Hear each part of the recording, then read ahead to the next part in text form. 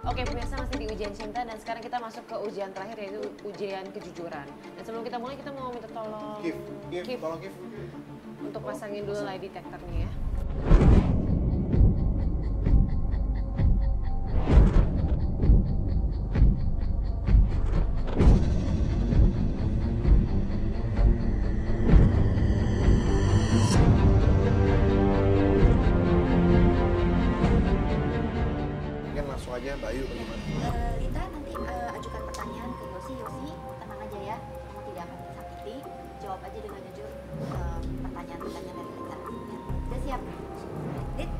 Aku tuh mau tahu dia kan dari awal kita tahu dia friendly. Dan aku pengen tahu sebenarnya friendly dia itu makin ke sini emang dia dasarnya ganjen atau emang dia dasarnya friendly? Aku tuh orangnya siapa pun. Ya kan aku kan businessman masa aku nggak friendly? Ya harus friendly lah gimana sih? Tapi kita lihat dong dia tuker-tukeran nomor handphone sama Delia mau nganterin pulang. Dan kamu tuh ada ngomong loh kalau kamu single kamu mau apa aku nggak pokoknya nggak make sense deh kata-kata kamu sama tindakan kamu gitu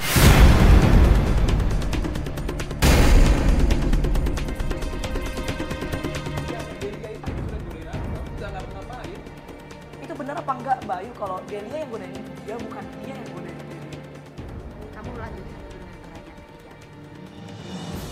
Terus aku mau tanya kamu, dan maksud kamu apa gitu loh? Sama tante-tante itu kamu tunggu dua jam, dua jam dia apa tukeran cincin ya kamu? Kamu lihat kan tadi kan? Tadi kamu nggak sempat turun dan orangnya udah pergi. Enggak, itu bukan mama kandung kamu, mama kandung kamu aku tahu siapa. Dan orangnya mana? Ya udah, tenang dulu, tenang dulu.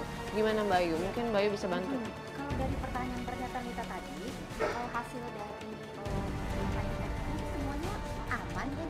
Amanan maksudnya nggak ada. Maksudnya grafik jujur? ya, jujur, nggak ada grafik yang lagi bantuin dia kan? Enggak, kan ini ada buktinya. Tapi enggak lah Mbak Ya udah, dari tenang komunikasi dulu. juga. Iya, kan gimana tuh? juga lihat kan grafiknya nggak ada eh, pergolakan yang sangat sangat signifikan. Semuanya hampir rata. Terus kalau kita lihat eh, ekspresi eh, wajahnya Yosi juga, dia terlihat sungguh-sungguh. Dia sayang udah nggak usah kayak ngerasa orang bersalah gitu deh. Eh, Lita tenang dulu, kalau mungkin gini grafiknya kan Ayu kan dia stabil nih, tidak ada masalah apa pun. Mungkin kita juga mau dengar dari omongannya langsung dari omongan Yosi.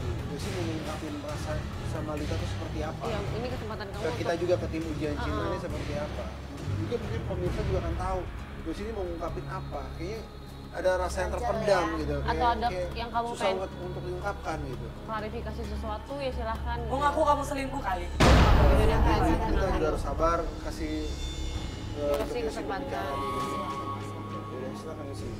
aku tuh jalanin satu setengah tahun sama kamu sebelumnya aku serius sama kamu masalah aku sama perempuan yang tadi itu memang mama kandung aku Kamu gak usah bohong deh, itu bukan mama kandung. Lita, Lita. Tahan dulu biar Yosi selesai bicara dulu. jadi dulu aku tuh dititipin sama temen. Tinggal gitu aja. Baru ketemu tadi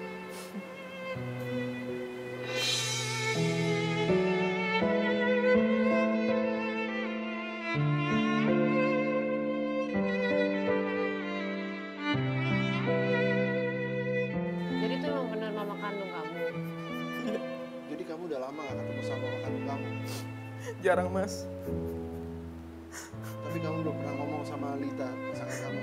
Dan kenapa dia nggak pernah ngomong dari dulu kan bukan salahku dong. Tenang, Yaudah. Lita. Kamu belum pernah curhat.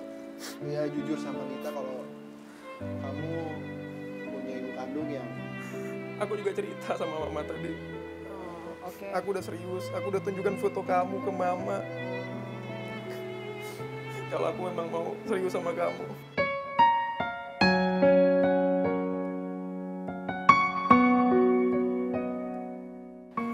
Yos, kalau boleh tahu kenapa kamu nggak mau cerita dulu ke Lita sebelum ketemu?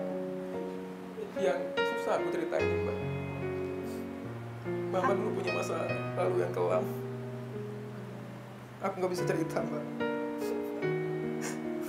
Oke, Oke, masa lalu yang kelam eh, Yosi mungkin kita nggak perlu tahu lah Dit ya. Tapi yang pasti sekarang yang mesti diselesaikan hubungan eh, Yosi dengan Lita. Gitu. Yosi sendiri eh, gimana? Dengan Lita gimana Yos? Iya, saya serius sama Lita. Dia serius ya sama kamu. mungkin juga Yosi usahakan bisa terbuka sama Lita Hmm. biar Lita juga tahu kalau misalnya apa pun yang terjadi sama Yosi bagaimanapun Lita ini kan pasangan kamu Iya benar. teman komunikasi kamu Harus lebih terbuka. jadi apalagi kamu mau menjalankan hubungan yang jauh lebih serius jadi kamu harus bisa terbuka sama Lita jadi biar Lita juga nggak salah paham sama kamu Oke, Mbak Ayu mungkin Aku Mbak Ayu mau nambahin ya. Eh, Yos, maaf ya kalau saya salah ya. Kalau aku lihat nih Dit, Nat, Dit, eh, Yos ini eh, orang yang perasaannya halus, ya orangnya friendly sama orang lain itu inginnya menyenangkan orang lain. Ya, orang-orang dengan ciri seperti Yosi itu orang-orang yang punya kebutuhan untuk rasa aman, rasa nyaman, stabilitas. Jadi dia kayaknya nggak mau nyakitin orang lain, termasuk juga nggak mau nyakitin Lita. Jadi kalau ada hal-hal yang dia rasa nggak setuju atau ada hal yang mau ditutupi, dipendam sendiri, betul. Jadi nggak mau diceritain ke orang lain. Jadi Yosi ini perasaannya halus. Eh, Nggak Lita bisa yang nolak gitu ya? betul, Lita yang harus lebih sabar, jangan terlalu push, harus banyak kasih kepercayaan. Harusnya dia ngomong sama aku Mbak Ayu, aku nggak tahu sampai sekarang. Kalau dia ngomong itu sama mama kandungnya, aku nggak tahu itu tuh mama kandungnya. Ya, Ya udah sekarang kan lagi ya kita sambil nunggu kan, kita tunggu aja gimana.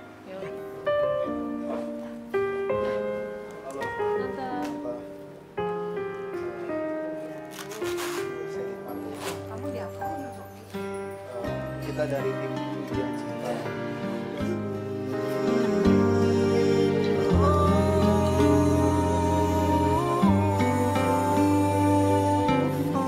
Waktu bergulir Lambat Yosi merantai duduk aja.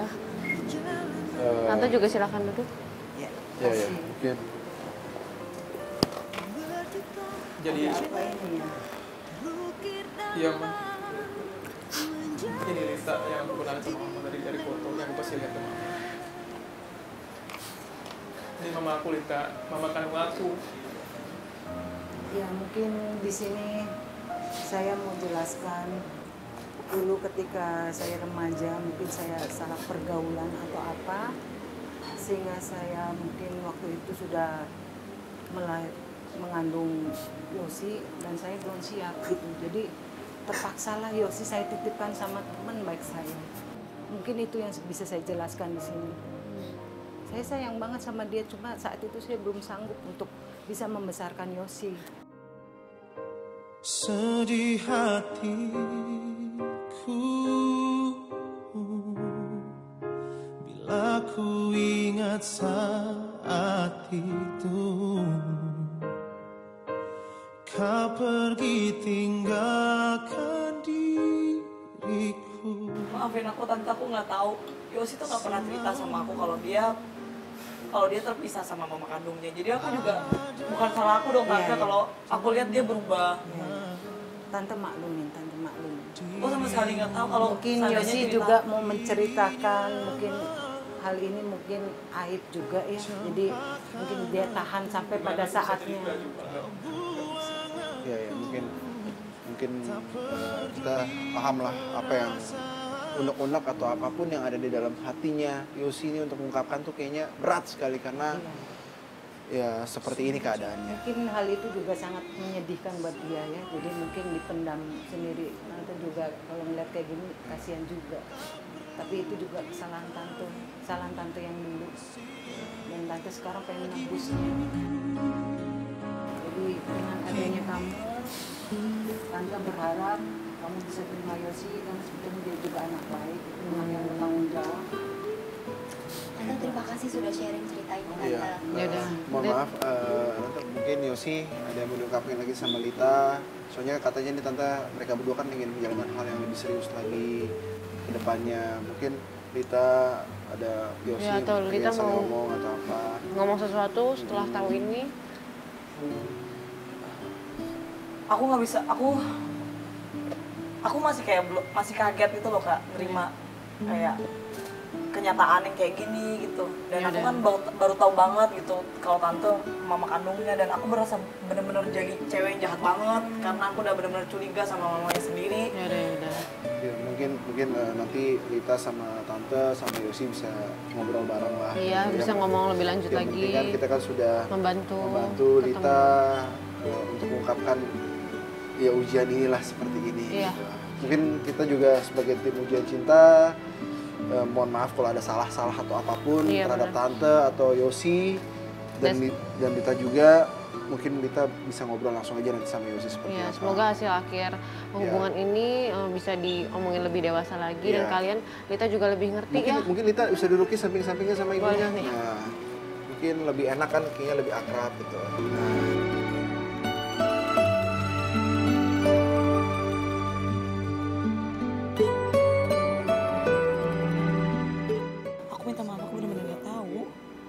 apa-apa maafin aku tante aku bener-bener nggak tahu kalau Mama mau nggak nyalain kamu.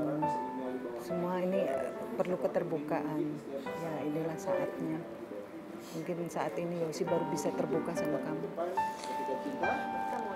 Namaku cinta ketika kita bersama berbagi rasa untuk selamanya. Cinta ketika kita bersama berbagi rasa sepanjang usia.